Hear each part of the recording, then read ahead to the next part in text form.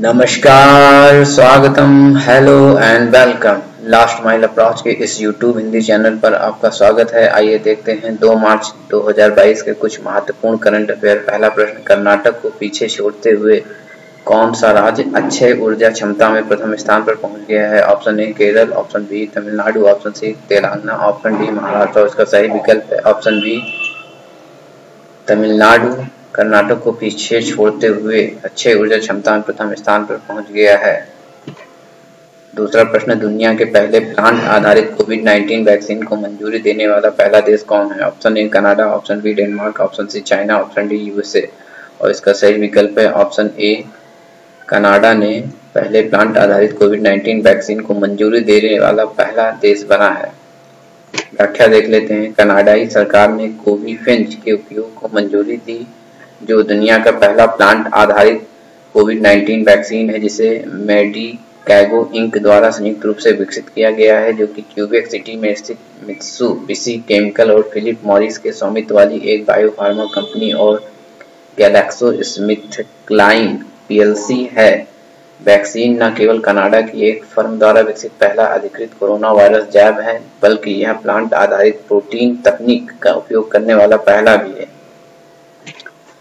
तीसरा प्रश्न securities and exchange board of India या भारतीय प्रतिभूति और विनिमय बोर्ड का नया अध्यक्ष किसे नियुक्त किया गया है? Option A, Nitin Paranjpe, option B, Kumari Rohini option C Madhavi Puri Buch option D, C, Pillai और इसका सही विकल्प है ऑप्शन सी माधवी पुरी बूच को सेबी का नया अध्यक्ष या चेयरपर्सन नियुक्त किया गया है।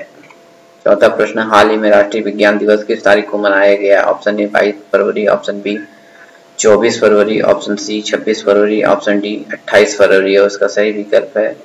ऑप्शन डी 28 फरवरी को राष्ट्रीय विज्ञान दिवस मनाया जाता है। व्याख्या देख लेते हैं। 28 फरवरी 1928 को भारतीय भौतिक विज्ञानी सर सी वी रमन द्वारा रमन प्रभाव की खोज को चिन्हित करने के लिए प्रत्येक वर्ष 28 फरवरी को भारत में राष्ट्रीय विज्ञान दिवस मनाया जाता है। उनकी खोज के लिए सर सी वी रमन को 1930 में भौतिकी में नोबेल पुरस्कार से सम्मानित किया गया था।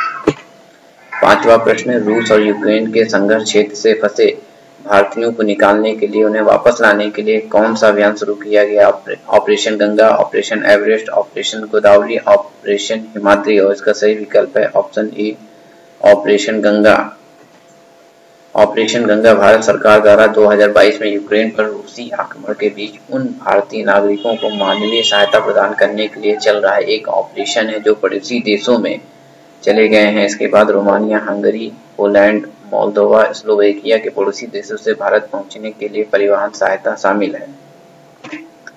छठवा प्रश्न, हाल ही में किस राज्य के शासित प्रदेश की सरकार ने भारत का पहला ई कचरा इको पार्क बनाने का निर्णय लिया है? Option A Delhi option B, Goa, option C, Sikkim, option D, Kerala. और इसका सही विकल्प है, ऑप्शन ए, दिल्ली सरकार ने भारत का पहला ई कचरा इको पार्क बनाने का निर्णय लिया है। व्याख्या देख लेते हैं। पर्यटन को बढ़ावा देने के लिए दिल्ली सरकार ने भारत का पहला ई कचरा इको पार्क बनाने का फैसला किया है। दिल्ली के उप मुख्यमंत्री मनीष सिसोदिया ने यह घोषणा की है। उन्होंने कहा कि जल्द ही दिल्ली में देश का पहला ई कचरा इको पार्क होगा, जो बढ़ते ई कचरे की देखभाल करेगा। सातवां प्रश्न society for world wide inter bank financial telecommunication या स्विफ्ट की स्थापना किस वर्ष हुई थी? ऑप्शन ए उन्नीस सौ इकहत्तर ऑप्शन बी उन्नीस सौ तिहत्तर ऑप्शन सी उन्नीस सौ पचहत्तर ऑप्शन डी उन्नीस सौ सतहत्तर और उसका सही विकल्प है ऑप्शन बी उन्नीस सौ तिहत्तर में स्विफ्ट की स्थापना हुई थी।